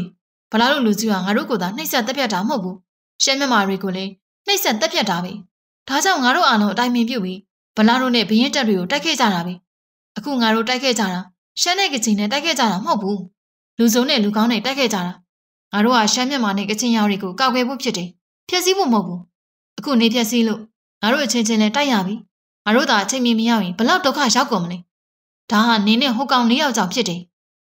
ကြော်ကြီးတော်ကဘာမှပြန်မပြော။သူကလည်းဖိုင်လာကိုကြောက်ရွံ့ရင်ရှိတယ်။ဒါပေမဲ့တမျက်နာကမထီတည်ပဲ။ငါတို့ကချင်တွေမှာကြိမ်တန်ပေးတာတင်တန်ပေးတာမရှိဘူး။ရော်ကြီးပေးရတာပဲရှိတယ်။ဒါပေမဲ့အခုဟာငါတို့ချင်းချင်းဖြစ်တာမဟုတ်ဘူး။ကချင်နယ်မှာဖြစ်တာမဟုတ်ဘူး။ရှမ်းမြန်မာနယ်မှာရှမ်းမြန်မာတွေနဲ့ကချင်တွေနဲ့ဖြစ်တာဖြစ်တယ်။နောက်ပြီးခုကိစ္စကရှမ်းမြန်မာတွေနဲ့ကချင်တွေရဲ့အမြဲတမ်းကိစ္စဒီကိစ္စပြည်လည်မှာအားလုံးညီညွတ်ကြမှာဒါကြောင့်နင်းနဲ့နင်းလူငါးဦးကို မိုးကောင်းမရဲ့လက်ကိုအပ်ရမယ်အခုချိန်ကစပြီးနင်တို့ငါးဦးဟာအမကြီးဦးကလာရဲ့လက်အောက်ကိုရောက်သွားပြီနင်တို့ရဲ့ကံကြမ္မာဟာမိုးကောင်းဝိုင်ရဲ့သဘောအတိုင်းပဲအဲနောက်လဖိုင်လာကစကဲကြီးဦးလာဘက်ကိုလှည့်ပြီးသူ့လူငါးယောက်ကိုအကြောင်းပြောတယ်တရားနဲ့အညီစီရင်ဆုံးဖြတ်ခွင့်ပြုတယ်သူ့ရဲ့ဆုံးဖြတ်ကိုရှမ်းမြန်မာနဲ့ကချင်ကြီးကဲတွေအားလုံးကသဘောကျညီကြတယ်ပထမမှာသူ့ရဲ့ရေတော့ပုံတက်တွေကိုမိုးကောင်းမှခုနှစ်ရက်နားနေကိုဆုံးဖြတ်ထားခဲ့မယ်။လလောဆယ်ပေါ်ပေါက်လာတဲ့ရေခွင်းတွေကြောင့် ငါရဲ့စိတ်မြောက်တဲ့မနှက်ပြန်မနှက်မှာပဲတက်နှုတ်ပြီးကိုယ့်ရဲ့ကိုယ့်ရောက်ကိုပြန်ကြဖို့ဥရကျော်ကပြောင်းလဲဆုံးဖြတ်လိုက်တယ်။မောင်ရှိဝါနဲ့မတိမပြောက်တော့ရေတော့ပုံတက်သားတွေဟာသတင်းကျွတ်မှပဲကိုယ့်ရဲ့ကိုယ့်ရောက်ကိုပြန်လည်ရောက်ရှိကြတယ်။ကြော်စီတော်ရေကိစ္စပေါ်ပေါက်တဲ့အတွက်ငြိမ်းချမ်းမှုပြုလုပ်ပြီးနောက်ငါရဲ့ကြောင်မှပဲနေရဒေတာကိုပြန်ကြဖို့ဦးရကျော်ကဆုံးဖြတ်တတ်မဲ့ခဲ့တော်လေလက်တွေ့မှာတော့ရပောင်း90ပြည့်မှပြန်ဖြစ်ကြတယ်။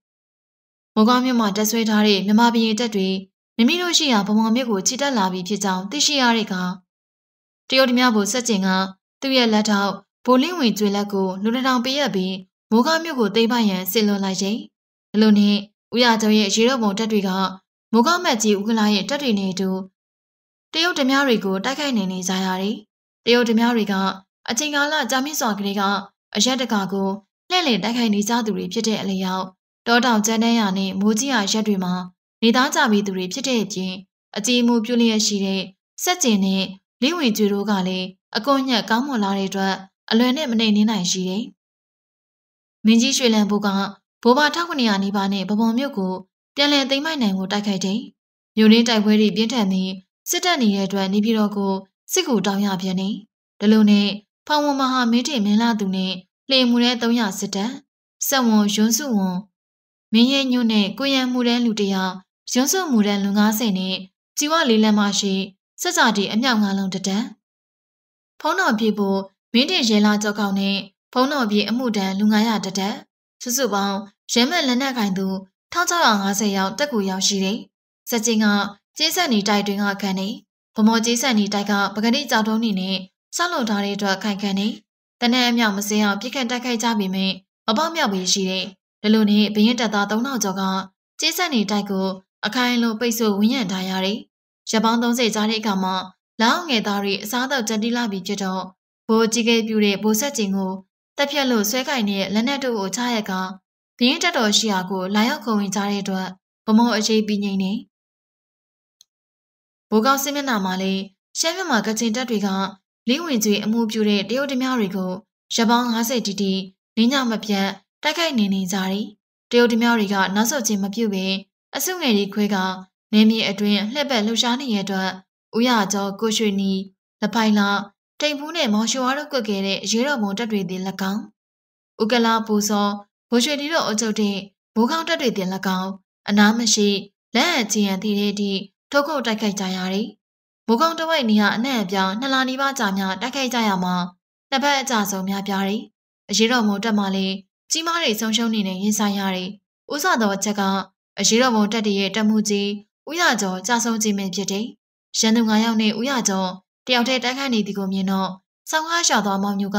အတင်းဝင်လုပ်ခဲ့စေတယ်။ရန်သူ9ယောက်လုံးကြာဆုံးနေထို့အတူဥရကျော်နဲ့မောင်ညူလည်းရရှိတဲ့တရားတွေနဲ့အချိန်နှင်းခဲ့ကြမှာအသက်ကုန်ဆုံးခဲ့ကြရတယ်။မောင်ညူက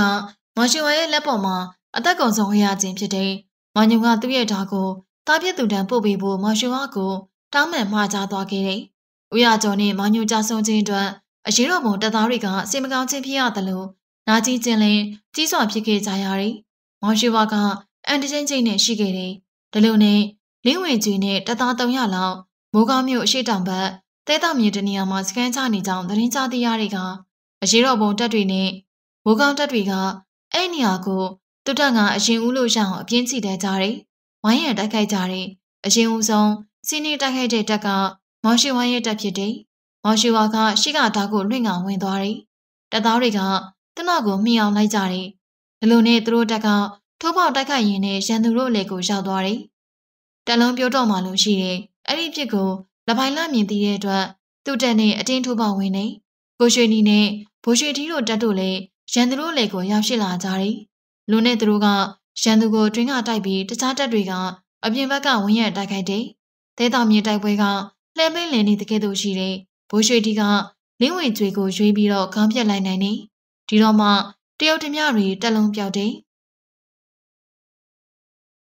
ဘိုကောင်တက်တွေဘက်ကလည်းထိခိုက်ကြဆုံးသူမနေဖြစ်တဲ့မောင်ရှိဝါက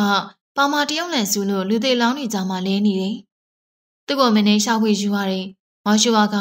တနေ့နဲ့တညလုံးလို့လို့တတိလစ်နေတယ်။ တတိပြန်လို့ဝင်တဲ့အခါအဖျားပါရောပါလာတယ်။ဦးကလာတို့ကမောင်ရှိဝါကိုမိုးကားမြို့မှာပဲစေဝါကူတာလို့နေရန်ပြောတော့လေသူကလက်မခံ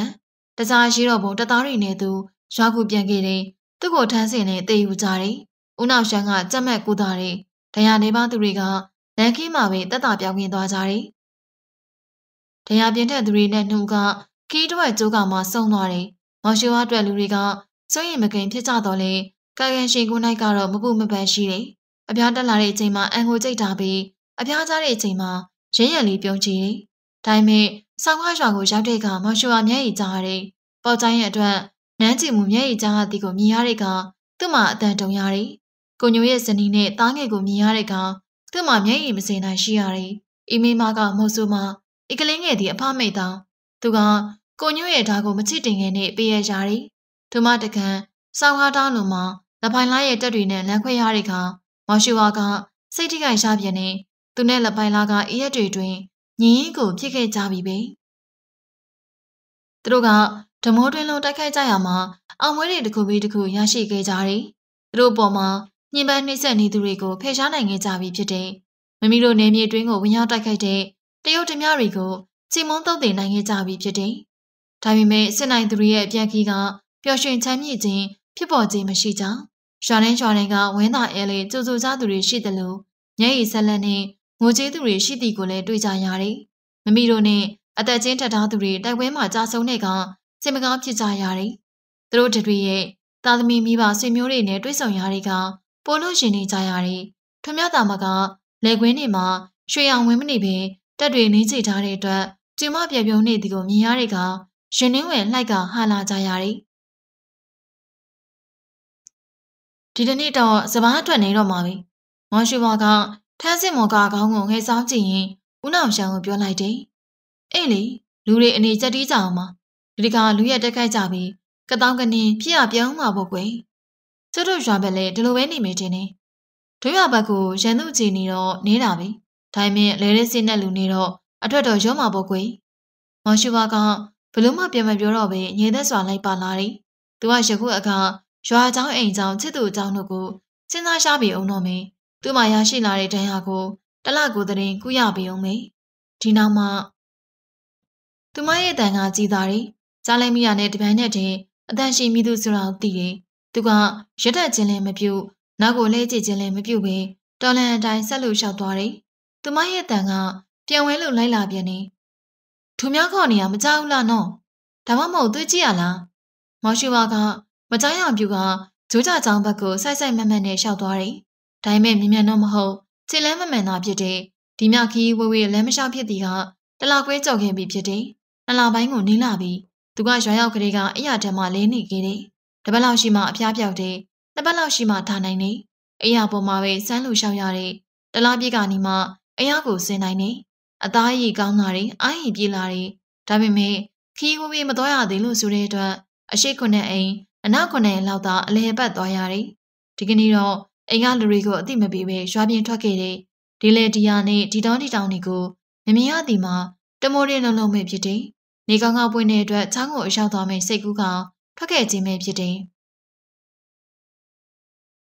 တို့များကိုစကားမပြောဘူးလားနော်။မတုံးရှိကသူ့ကိုမြင်လာပြီးဖြစ်တယ်။သူနောက်ကကတ်လို့ပြောလိုက်ခြင်းဖြစ်တယ်။သူမရဲ့ပါဇက်ကထွက်တဲ့လေကသူ့ကိုဘိုးဘော်ကိုပူနေစွာကြားရောက်လာတယ်။ သူမမှတိတာတဲ့ကိုရနဲ့လည်းရှိတယ်။မော်ရှိဝါကရန်သူတထောင်တက်နဲ့တွေ့နေတယ်လို့ထင်မိတယ်။ယနေ့ပဲပြင်းထွက်တယ်။ယနေ့ပဲသူမနဲ့တွေ့တယ်။အမျိုးသမီးကသူ့လက်မောင်းကိုစက္ကနဲ့စောင့်ဆွဲလိုက်တယ်။အမတ်တမဲဆိုတော့ကိုတဆောင်းလေသွားတယ်။သူမရဲ့ကိုဘော်ကိုငိုက်ကြသွားတယ်။ကိုလုံးချင်းစောင့်မိတယ်။ပေါင်ရင်းမှာမျက်ခနဲ့ဖြစ်တော့လှုပ်ခနဲ့ညှင်းလိုက်မိတယ်။မတုံးရှိကသဘောကျစွာပြုံးရည်နေရကစိုးရိမ်ပူပန်သွားတယ်။ညနာနဲ့ပြပြတလဲမိတယ်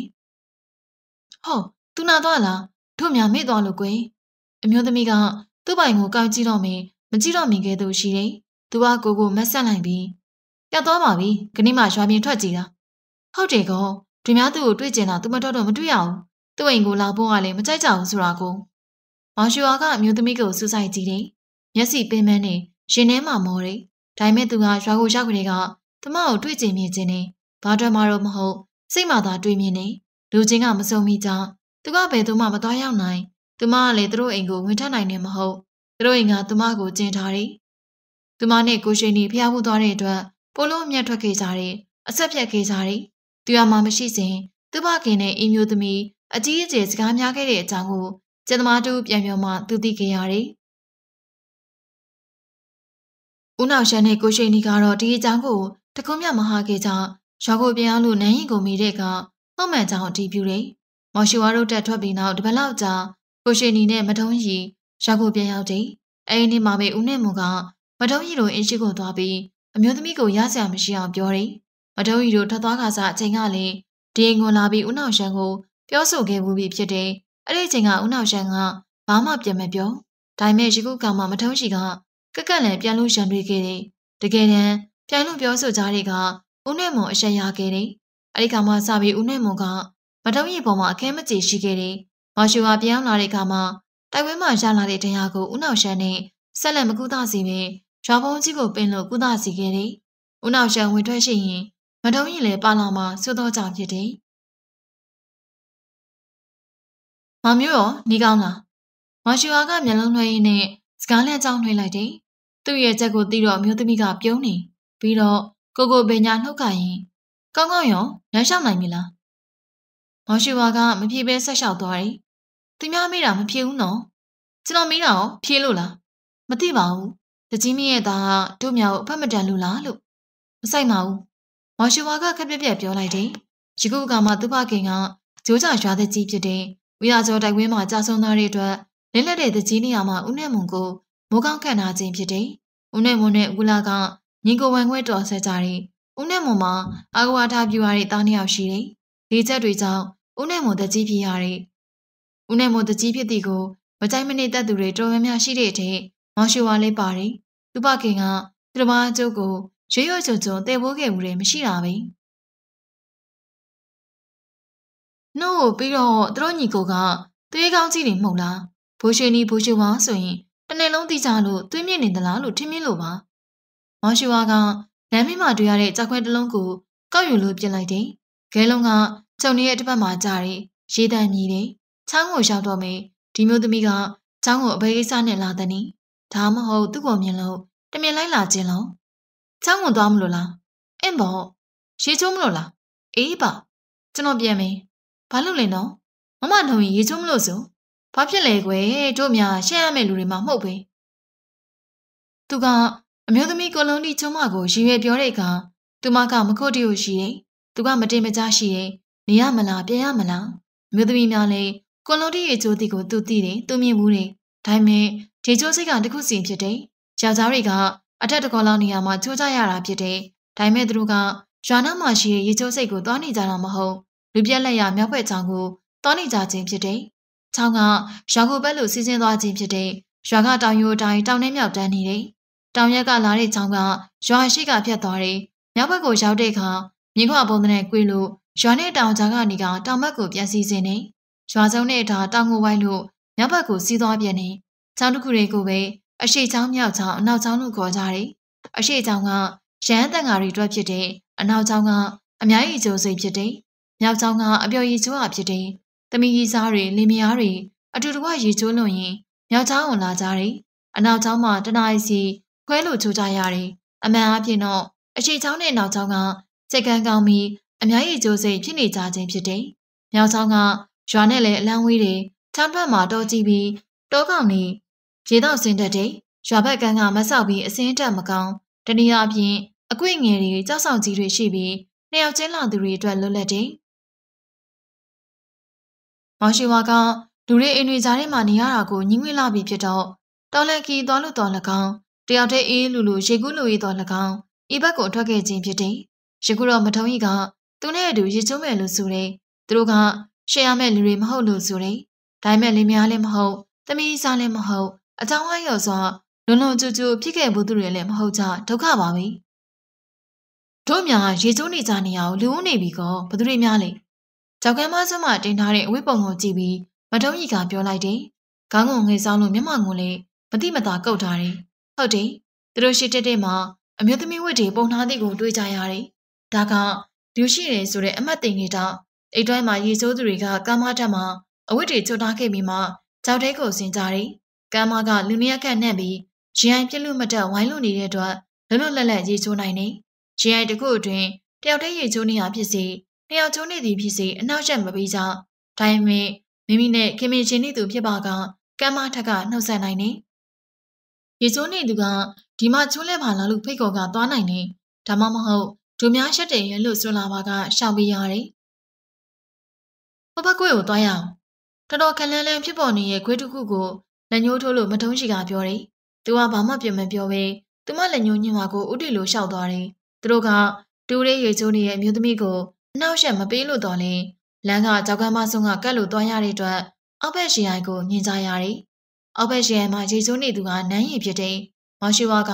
ချက်ချင်းမျက်နှာလွှဲလိုက်တယ်။ ကောင်မလေးစောကလေးကပျောက်နေခြင်းမှာဤသို့ရှောင်းနေခြင်းဖြစ်တယ်။ဒီကောင်မလေးကတော့တွေ့သမျှလူကိုမုံမရက်တွေပြောပြီးတော့မှကြောက်ဆောင်ထက်မှမတက်ရက်လို့သူတို့ကမောကြည့်နေတဲ့နန်းရည်ကိုမြင်တဲ့အခါဘူးလို့မထုံးကြီးကခက်ရှိရှိအတန်ပြူလိုက်တယ်။နန်းကြီးကအလားတူပြုပြီးအတန်ပြုတယ်ပြီးမှလက်တစ်ဘက်ကိုမြောက်ခြေပြားထောက်ကခုနကကြောက်ခဲနေပြတာမမထုံးရင်လားနေကိုရှိဝါလက်တက်ဆန်းတာနန်းကြီးကတစ်ချက်ရေးလိုက်ပြီးနောက် ရေထဲကိုခုန်ချလိုက်တယ်သူတို့အိမ်သားတွေထဲမှာဒူမြောက်ခင်တာညီမလေးနန်းကြီးတယောက်ပဲရှိတယ်အကိုရွှေနေရှိပါသေးတယ်မောင်ရှိဝါကလှုပ်ကနေပြောလိုက်တယ်သူကလူတမျိုးပဲသူ့ကိုကျွန်တော်တွေ့ကျင်နေတာတို့များနဲ့ဆိုင်တာမဲ့လို့တကယ်ပြောတာပါခက်ပါကောကျွန်တော်သူနဲ့စကားပြောစရာရှိတယ်အရေးကြီးတယ်ဘိုးကောင်ကပြန်လာကြတဲ့ကသူနဲ့ကျွန်တော်တခါမှမတွေ့ရသေးဘူးအိမ်ကိုတခါတခါပဲလာတယ်ပြောတယ်ကျွန်တော်နဲ့မတွေ့ဘူးတပြန်သွားမှသိရတာကျွန်တော်ခုသူနဲ့တွေ့မှဖြစ်မယ် မောင်ရှူဟာကကိုရှင်နီနဲ့တကယ်ကိစ္စရှိလို့ပြောနေခြင်းဖြစ်ကြောင်းသူ့ကိုထိနေခြင်းမဟုတ်ကြောင်းသိရတဲ့ကမတုံးကြီးကအတန်ကိုနှိပ်ပြီးထိုများလေသူမိုကောင်းကပြန်လာကြတဲ့ကတကားမှဟိုဒီဘက်ဒီမတွေ့ရသေးပါဘူးတကားတကားလမ်းမတွေ့လို့နှုတ်ဆက်တာမကြားချင်အောင်ဆောင်သွားတယ်မောင်ရှူဟာကကြားအသည်ကိုမယုံတဲ့အနေနဲ့မတုံးကြီးကိုစက္ကနဲ့ကျင်းလိုက်တယ်ဒီရက်တွေတွင်ကိုရှင်ဒီပြောင်းနေခြင်းကမတုံးကြီးကြီးရောက်နေခြင်းဖြစ်မယ်ဆိုပြီးသူကတက်မှတ်ယူထားခဲ့တာကိုရွှေဒီဘယ်သားနေတယ်လို့အိမ်သားတွေကိုမင်းရင် မသိလို့ခက်ပေါ့ပေါ့ခက်တူတူပြောကြတယ်မထုံးရှိအိမ်ကိုသွားတွေကိုမပြောလို့ကြားလို့ဖြစ်မယ်လို့သူတင်နေခဲ့တာယခုတော့မထုံးရှိကသူမတန်ကိုကိုရွှေဒီမလာပါလို့ဆိုနေတယ်တကယ်လားတို့များဘယ်တော့မှမညာတတ်ဘူးမောင်ရွှေဝါကခဏမြစင်စားတယ်သူတို့ကအနေနဲ့ကိုဆင်းလာကြတယ်တုံလေးချိန်ကစင်းရီတက်ချီပြူမှဝဲကိုရောက်မှဖြစ်တယ်ဘာဖြစ်လို့မလာလဲဘယ်သိမလဲနော်မမထုံကြီးနဲ့ဘာဖြစ်လို့လဲဘယ်တော့မှဘာမှဖြစ်ပါဘူး အရှင်လုံးကမမထုံကြီးစီသူ့လာပါတယ်อืมတပေါင်းလာတော့ကဖျားဝဲသွားကြတယ်ဟမ်ပြန်တော့ဘာဖြစ်လဲသူတို့ကတမျိုးပါကွယ်ကျွန်တော်တို့မှာကဆုလို့လားဝေးသေးတယ်အခုမှဖြစ်လို့မမထုံကြီးစီကိုအခုရွှေနေမလားလေသူတို့ကကြက်ကလွယ်လို့ဘာမှဂယူဆက်တဲ့လူမဟုတ်ဘူးလေကိုရွှေနီကမိသည့်နေရာကိုဆက်ကြနေတဲ့နည်းဆိုပြီးသူမစင်းစားတတ်အောင်ရှိတယ်ကိုရွှေနီနဲ့မထုံကြီးအဖေကြောင့်အဆက်ပြတ်သွားတဲ့နည်းဆိုတာကိုလည်းမတွေးတတ်အောင်ရှိတယ်။မြေတို့မင်းဖြစ်စေ သူက ATM နှစ်ရက်အတွင်းကိုရှင်နီကိုတွေ့အောင်ရှာရမယ်။ကျွန်တော်သူ့ကိုတွေ့အောင်ရှာရမှာ။နင်တို့ညီကိုဒီလောက်မချစ်ပါဘူးအေး။ကျွန်တော်သူ့ကိုပြောစရာရှိတယ်။တို့များမသိရဘူးလားနော်။စင်မန်းထွက်မလို့သူ့ကိုခေါ်မလို့စက်တိုက်နေဘယ်လိုလုပ်မှာ။ကျွန်တော်ကစင်မန်းမထွက်လို့မဖြစ်ဘူး။ဘာဖြစ်လို့လဲအေး။ကျွန်တော်မှကွန်မို့တင်ရမယ့်ကိစ္စရှိနေတယ်။ဟုတ်တယ်နော်။သူအိမ်တော်ပြုတော့မှာပဲ။အမျိုးသမီးကကိုမသားကိုပြောသလိုတီတိုးဆူနေမောင်ရှူဝါကသူမကဲကိုကြည့်နေတယ် အမျိုးသမီးကသူ့ဘဝကိုရုတ်တရက်ဖက်လိုက်တယ်သူလန့်သွားတယ်သူချနောက်ကကောင်းသေးတာမှမဟုတ်ပဲစင်မန်းထွက်လို့ဖြစ်ပါမလားပြောက်ပါပြီနောက်နေကရဲ့ဆိုပြေးနိုင်လွားနိုင်ခုံနိုင်ပေါက်နိုင်ပြီသူလဲသိတာပဲစင်မန်းရတာအနေရများတယ်အားရှိရမယ်နှိရမှာဖြစ်ပါတယ်တခြားအလုပ်ပါလားစီးရမှာပဲတွေ့ရေးကြိုင်မှာနှစ်ကြော်သုံးကြော်ထွက်နိုင်ရင်တော့ရာတနေ့လောက်တာနဲ့အတူတူပဲကိုရှင်နေလိုက်ပါမလားပြောရမှာပေါ့သူများကိုမိုးတင်ဖို့သူလိုက်ပါမလားပြောရမှာပဲ သူတို့လောက်ကတိတ်ပြီးတိတ်ညာတယ်နော်မတက်နိုင်ဘူးကျုံးသင်းပါလားလူလူတွေငွေလိုအပ်တယ်ဝေသားလီမှာကျင်းတော်မီဖမ်းကြတယ်ဆိုအမျိုးသမီးကစင်ပန်းနဲ့ကြောင်ပြောနေတဲ့အတွက်သူစိတ်တော်ညင်ရတယ်ဒါပေမဲ့မျိုးသမီးကသူ့ပကုံးကိုမလိုပဲရှိတဲ့အတွက်လူလုံးချင်းကပ်နေတဲ့သူကစင်ပန်းနဲ့ကြောင်မဲ့စကားဆက်တယ်စင်ပန်းနဲ့နေကတော့အမျိုးမျိုးပဲကျုံးလဲသွင်းကြတာပဲကျင်းလဲထောင်ကြတာပဲညှုပ်ကွင်းလဲဆင်ကြတာပဲဘိန်းချွေးပြီးလဲဖမ်းကြတာပဲဒါပေမဲ့ စီအောင်တန်းဝင်ပြီးကိုလိုချင်တဲ့အကောင်ရဲ့ဦးကင်းကိုကျုပ်ကွင်းဖြစ်ဖမ်းရတာကတော့အတိအကျဆုံးပဲတီးပြီးနေရနော်အိမ်စင်းနဲ့တော်စင်အရွယ်ချင်းမမြရင်ခမ်းရတာမမဟုတ်လားမောက်ကန်းဝါကတော့အကောင်းပါလေဒါပေမဲ့တောစင်တွေကအုံနဲ့ပြန်လူတတ်တယ်မဟုတ်လားနောက်ပြီးတော့မအုပ်လုံးမဲ့လူဟာစင်ပြေးနေအိမ်မှာခုတ်စင်းနိုင်ရမှာခုတ်တတ်နိုင်ရမယ်မဟုတ်ဘူးလားနန်းခင်တော်တတ်နိုင်စင်းနိုင်ပါလေသူကပေါင်မှာဒဏ်ရာရထားရဲ့လေပျောက်ပါပြီအေးလေကိုမို့တရားမှာဆိုတော့တိတ်ဘေးကိုဘယ်မှုတော့မှလဲ မောင်ရှိဝါကဘာမှပြန်မပြောတော့သူ့ပကုံးမော်ကသူမလက်ကိုအသာဖေးချလိုက်တယ်သူစင်မဲထွက်မဲ့အကြောင်းကိုသူအိမ်ကတော့မပြောရသည်ပြောရင်အိမ်ကလည်းစိုးရင်ကန့်ွက်ကြည့်မယ်ဒါပေမဲ့အရေးကြီးတာကကိုရွှေနီဖြစ်တယ်ကိုရွှေနီကဖန်တီဖြစ်တယ်ကိုရွှေနီမလိုက်ရင်သူတယောက်တည်းဖြစ်နိုင်တဲ့အလုံးမဟုတ်ဖန်တီကောင်းတယောက်ရှာဖို့ရောက်ဖို့ကလည်းမလွယ်ဘလို့ပဲဖြစ်စေကိုရွှေနီကိုတော့ပြောလို့တော့ကြည်ရမယ်မတော်ရရုတ်တရက်ရှက်လိုက်တဲ့အတွက်သူလည်းရှက်လိုက်တယ်။ကွေကံမထက်ကိုရောက်နေကြပြီဖြစ်တဲ့သူကအဖက်ကိုငုတ်ကြည့်လိုက်တယ်။ ရေကကြည်နေတဲ့ရခုလိုချွေးလေးဆွတ်ဆွတ်အချိန်မှာဆင်းလို့ကုလိုက်ရရင်တော့အဘယ်များအင်းမြလန်းဆန်းသွားမှလေ။သူ့ကိုယ်ကိုအမျိုးသမီးရဲ့လက်တစ်ဖက်ကလာလို့ထီတယ်။သူကရေပြင်ကိုငေးကြည့်နေရကသူမဘက်ကိုနှိပ်ကြည့်လိုက်တယ်။မတုံးရှင်ကအဝတ်တွေကျွလို့ပြီးနေပြီဖြစ်တယ်။ဒုံများကအိုးပါကွယ်။မရှူဝါကမျက်လုံးတွေကိုစုံမိထားလိုက်တယ်။သူမရဲ့အသက်ရှူတန်ကပိုလို့ကျင်လောင်လာတယ်။ခက်တော့တာပဲ။ပရိသတ်များရှင် ဒီနေ့မှကျမတို့ရဲ့ channel လေးကနေတင်ဆက်ပေးခဲ့တဲ့စာရေးဆရာနတ်နယ်ရေးသားထားတဲ့မြမပြည်မြောက်ပိုင်းဆိုတဲ့စာအုပ်လေးရဲ့အပိုင်းရှိကိုနားဆရာပေးခဲ့ကြတဲ့ပရိသတ်များအားလုံးကစနေတတ်မယ်လို့မျှော်လင့်ပါတယ်။ဒီနေ့ရဲ့စာအုပ်လေးကိုတင်ဆက်ပေးခဲ့တဲ့သူကတော့ကျမမိပဲဖြစ်ပါတယ်ရှင်။